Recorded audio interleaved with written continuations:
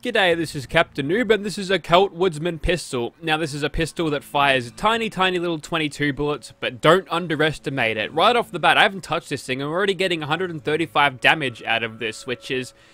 I don't know what kind of bullets it's firing, but damn, that's some pretty good damage for a 22.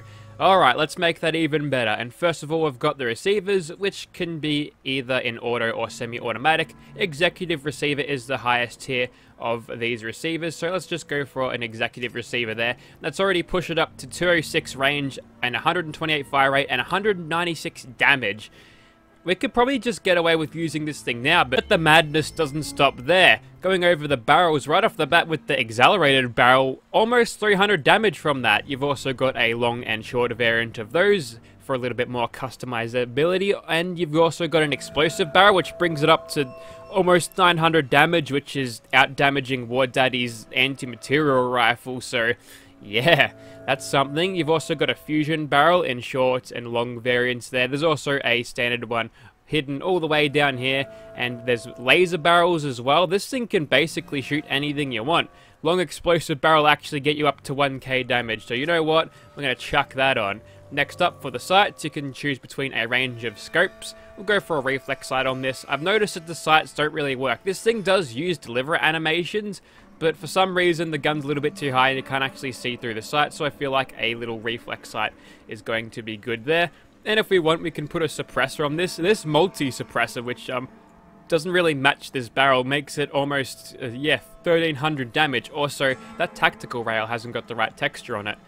Alright, so the basic suppressor. That one will get us a little bit less damage, but at 1100 I feel like we're going to be quite fine with this thing. And you've got a bunch of other grips you can chuck on this thing. Angel grip gives you the best stats. Um, it has a little angel wing pattern. Assassin's grip has looks like what is blood. Then there's comfort grip marksman grip and a Santa grip as you saw before.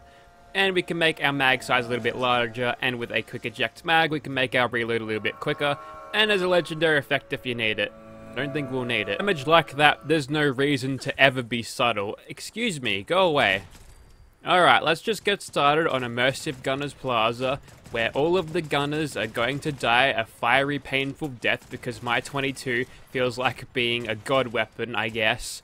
So, yeah, I was expecting to be you know, having to play this a little bit subtle because obviously a silenced 22 pistol, do you remember that from Fallout New Vegas? That was like a stealth weapon that you take into casinos to kill Benny or something. Well, that was one of the ways you could do it, but no, this thing just happens to be a god weapon. So this is a basic explosive one that I saw before, or that you saw before on the crafting bench. So, yep, hitting for 1k damage, and it, it explodes with like a Molotov fire, which is kind of neat. Moving on, this is the one with the plasma barrel, and it kind of shoots cubes. This one is also automatic. I should probably mention, you can get the ammo just from a chemistry workbench. And it'll cost you a bunch of things. There's a little bit of um, perks to actually craft it that you need, but all in all, that's probably a good way of balancing this weapon rather than just making it have a um, ammo type that's already used in the game, like 38, so that's okay. Alright, so I'm going to shoot at someone and then I'm going to turn free cam on so you can actually have a look at the projectiles. So they're just kind of like cubes, which is weird. Maybe they're untextured. I think they might be untextured as well as the glow thing, so I don't know, maybe this mod installed dodgily, but nonetheless I'm actually kind of I actually kind of like this style. It's it's kind of like the holo rifle, Obviously, with a critical, we can easily one-burst these guys. Same thing happens with the laser gun.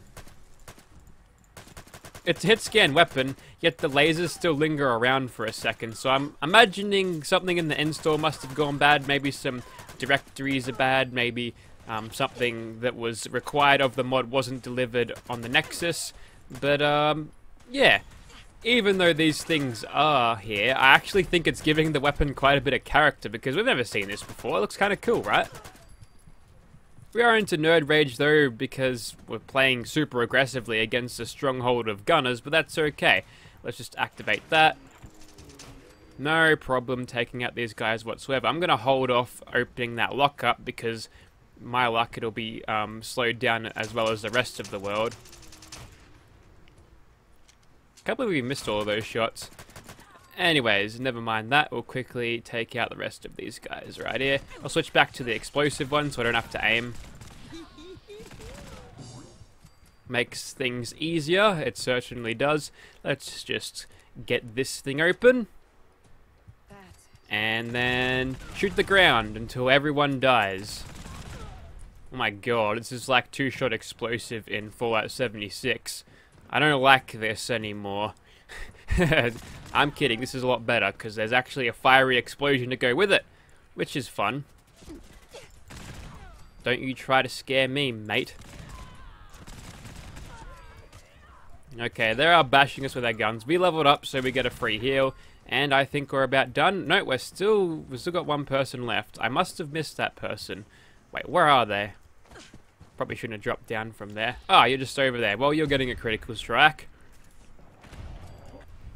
and it takes him out in one shot.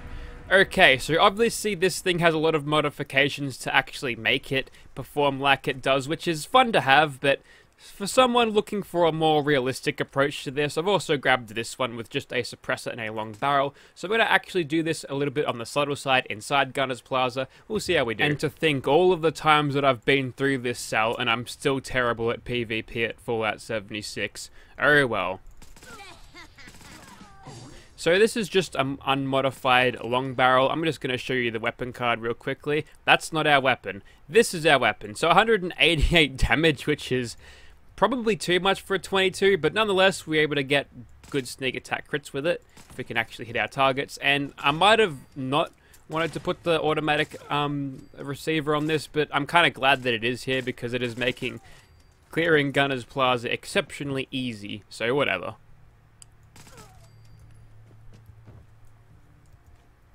So far, so good. Everything's been quite subtle so far. Haven't been detected yet. That's critical take him out one burst with sneak attack criticals.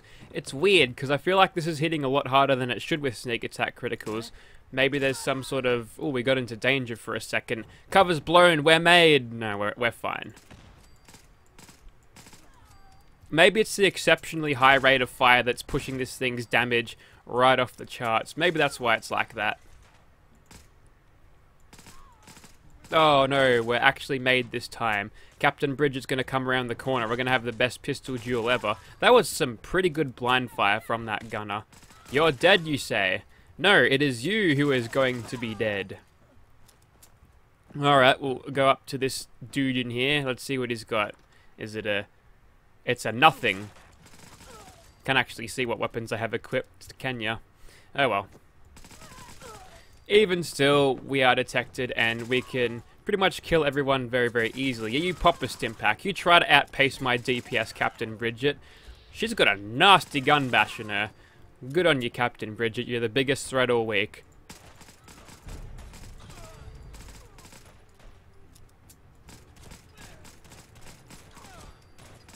I like burst firing this thing. I should probably deal with the elephant in the room though, shouldn't I?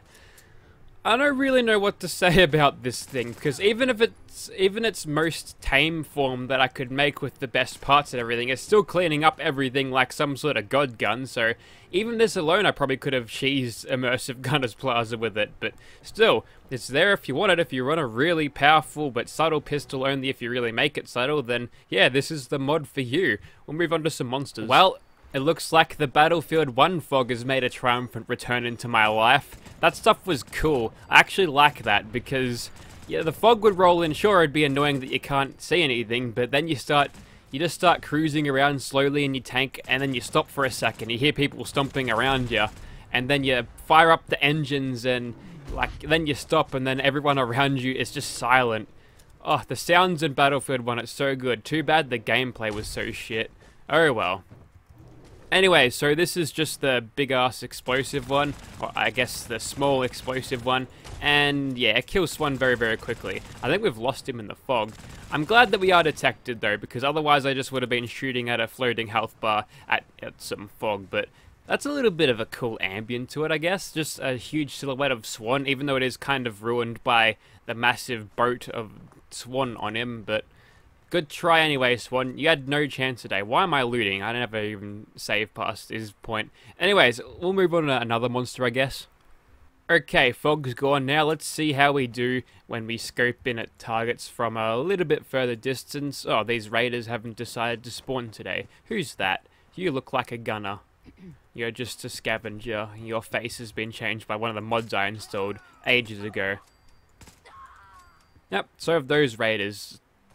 I forget that I mod Fallout 70, no, Fallout 4 so much.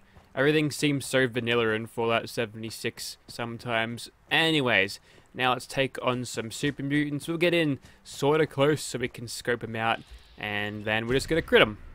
Take them out like that. We'll just let the game do most of the heavy lifting, I guess. I like how the eye tracking sometimes on VATS critical cameras is weird, because you saw Winter was looking in a completely different direction, so I don't know what was going on there. Oh, not detected yet. Gotta sneak in there. Oh, subtle like. Oh, I'm actually running low on the old bullets. So, if I can't do this before my ammo is out, then I'm in a lot of trouble. That being said, I should probably switch to something a little bit more semi-auto so I can conserve it a little bit easier. Alright, let's go for a crit on you. Yeah, what are you looking at there, Winter? Eyes on the eyes on the prize. She's looking at the camera just then. Keep your head in the game. We didn't get a headshot on him because I didn't bother correcting where VATS was aiming, but that's okay. We'll get a critical on him, and unfortunately, um, I think we lost a little bit of damage with the Penetrator perk. I don't know. Didn't feel like we're hitting him as hard as we ought to. Wow, did you see how many AP we're using per shot? Let me just show you that again. It might be so small that you can't even see it, especially if you're watching on a phone screen, so... And with all of that, I didn't even have um, Grim Reaper Sprint proc there, and I've already got my action points back like that. So, balance of this weapon isn't its strong point. And there's Winter looking off to God knows where again. Maybe that's just her rolling her eyes. It's the overpoweredness of this weapon. Hey, I made it like this. If you don't want it to be overpowered, there's lesser attachments for you to attach to make it less of the cheesy variety, I suppose. We'll go for a critical. Now you're dead. He ragdolls right into us. Luckily he's got no collision because that would have been a pretty tough hit. Alright, we're done with here. Now on to Gerald, I suppose. So, we could probably get him in one VATS run. I'll do this with a suppressor. I'll do it with the weakest variant I can of this that I have on me right now. See if we can't get him. Has he even finished with the gunners yet? I don't know. Let's just go for some shots on these Super Mutant Warlord dudes. Yep, number three, four. Alright, this will be a gun-fu massacre if I could actually hit these guys. Well, that didn't go as well as I thought, no. We'll go for a critical on you. Yeah, okay, that's a little bit more reasonable damage, but looking at my ammo counter now, we might run out soon. Alright, there goes another super mutant. We'll go ahead and just keep on shooting this fellow. Oh, those those VATS misses are going to be the death of me because if I run out of ammo against Gerald, then I don't know what I'm going to do. Speaking of which, where did the old dude get himself? Oh, I think I see him. Yep, he's over there. I think he's trying to make a run for it. He smells all the dead super mutants and their guts everywhere. Either that or he's trying to get the drop on me this time. Not happening, my friend. You're getting some of this. All those VAT shots. Gonna smash that space button for criticals as they come along. We should be able to nail him with constant sneak attack criticals and VATS criticals as they come up. That's one mag down. We should be okay. So, I think there's some balancing that needs to happen with this weapon yes, but like I said before, if you don't want it to be overpowered, just put all the, the um, lesser attachments on it. But sometimes it's fun to do well with a hand cannon of a pistol firing tiny, teeny little 22 bullets. And what's that got left? We've got about 70 bullets left? Yeah.